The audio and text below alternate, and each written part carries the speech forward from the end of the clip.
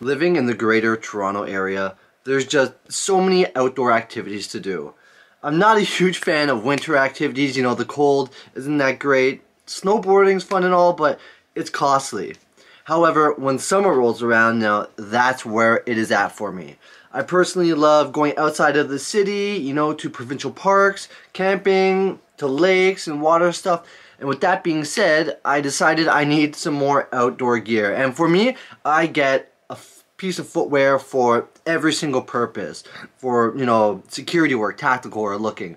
For running on trails, for running on the road. There's just so many different things that a certain shoe can be utilized for. And today I'm here to show you a shoe that I will use for portaging in the provincial parks, Algonquin Park, here in Ontario, Canada. And those are going to be a nice pair of Under Armour shoes. So there's two because there's the same shoe but two models. And let's get into it. So the first one I'm going to show you here. Let's have a look at the front of the box. Let's turn some lights on so you know we can get a little bit of a better look. All right, there we go. Forgot to turn those on. So here you can say it says the UA Micro G Kalichi, or is that how it's pronounced? Kilchis, maybe. Kilchis, not Kalichi. You know, anyone comment below if you know the proper pronunciation. You can see he says Under Armour branding there. And notice the size 10. Okay, here's the shoe. Small picture at the front. You can't really see that. Under Armour branding on the box. You know, just your average Under Armour box. Here you go all that details. And if you're looking for this model, you can type in the name or you can type in, you know, Under Armour. They have a product number there. Footwear, when you type in product numbers, whether it be a Nike or whatever, you type that into Google, it's going to show you that product and maybe where you can buy it. For this stuff, I got it at underarmour.ca. You know, a lot of the really good stuff is not at the Under Armour factory stores or you have to go hunting and you could get it on sale there at a good price, but if anything, if you really want something, you got to go straight for it. So underarmour.ca. Anyways, let's pop into it, alright? I'm to pop this open. See, this is how it looks inside. Like that, maybe I'll move it over here. Quick look. Okay, and first I'm to take out the left foot. So, right upon the reveal of the left foot, this is what we have.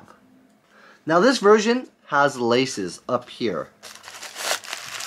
I still have the insert inside. I did try these on though, so no mistake. And you can see the bottom holes here. This is so when the shoe is submerged in water, the liner is very light. The water will not stay in the shoe. It will go out. Also the material on top, the meshing, very soft, very light, and very easy to dry. You can see through the center of the shoe pretty much the way I have the lighting. Now the heel tab, you have a little string. So if you have issue getting a foot on, because it is a sock liner shoe, then you will have to use this. Now, sizing wise, a lot of people, you know, they say true to size, even on the website. However, in the comments, I noticed one or two people said they had to go up a size. And that is very odd to me, because this is a shoe that you shouldn't be wearing with socks. This is a barefoot shoe. So for me, I and Under Armour and almost all my sneakers am a true to size 10 and a half. But since I'm not wearing socks and I wanted to fit, this fits me in a size 10. So I'll show you the other one in a second, the one that I decided I'm going to keep over this one. But uh, yeah, let's put this one down. We're going to show you in the on feet in a second, but put this one away and get the second one. Now I remember I said it is the same model, just a slight difference. So here we go, the front of the box. You can see this one again, size 10. UA, sorry, Micro G Kilchis Slip. So obviously if you read that you should know right now before I even bring it out, slip, it is a slip-on. This pair did not have the laces. Now I was a bit iffy first. I thought I would keep the pair of laces because it would keep my foot locked down better. However, once I put these on foot, this is the pair I decided to keep. It was most comfortable. Um, retail Canadian, sorry guys, I cannot remember exactly right now, between $90 Canadian to $120 Canadian. Um, comment below what the price is and .com, I'm talking about .ca, Canadian, or maybe somewhere else in the world. You know, I have a bunch of people that watch my videos from UK and from Europe, and they, they've been asking me where to get some of the products, so anyways, let's jump into it. So once again, I'm going to show you the box, nice and simple. We got it open here. This time I'm also going to take out, take out the left one, you know. It's like working, I used to work at Foot Locker back in the day, and on the walls you always had lift foot displayed. So here we go. Nice and pretty much the exact same shape. It's got that micro G hit on the back. Nice and cushy. Oh, for one second. Let's compare the bottoms. Okay, exact same. Back to this one, you can see a little bit of a pull tab on here and on the back. So you have two ways to slide your foot in, this way and this way, because once again, sock liner, same, almost everything, except I believe the toe box stitching is a little bit different, because normally you would have had laces here. So let's just compare side to side. Okay, slightly different. You can see the siding on the toe box here, almost the exact same, but it felt slightly different on my foot, especially since the lace, all the lace stitching comes around here on this side. I don't know. This one does have a hit of Under Armour, and this one doesn't, but I mean, I'm using this for portaging or fishing or going to the lake.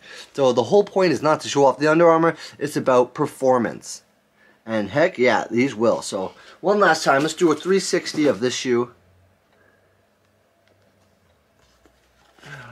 More than a three, always. 360 of this shoe. And once again, in these shoes, I ordered, because I was not sure, and when you order online, I'm a little, I don't know, not nice about it.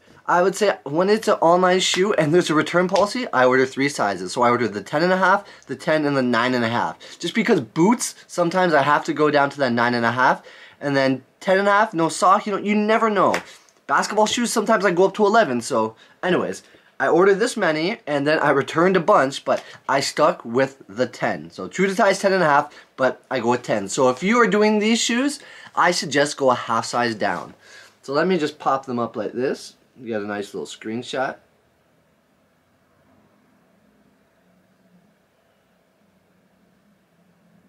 And there we go. So, hope you guys got enough looks of this and my little explanation on what you should do and what it's for. Let me go throw it on feet so you can see how these shoes look. Let's go. First look at the Kilchis. These are the ones with the ties. You can see the tie on the front there. I don't know. The feeling right in here is a little loose. Like, I don't really feel like the ties do much as a sock shoe. Which is odd, because I thought these would be the ones I would prefer.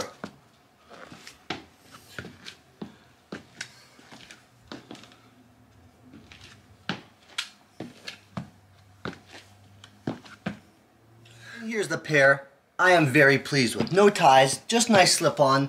You know what? It just makes me feel like it's a summer shoe. Summer shoes are slip-ons. You know, you got your sandals. I hate to say it, but some people wear Crocs. You know, water shoes. These, this is what this is. This is like an aqua sock, a water shoe. I don't need those ties. It slips on and it still feels more secure. I still got a little bit of space, but I did try all the sizes smaller, so this is the best fit for me.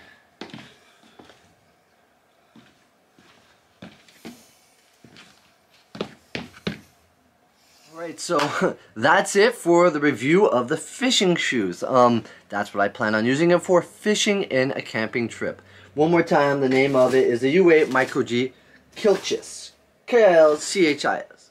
Correct me if I'm wrong.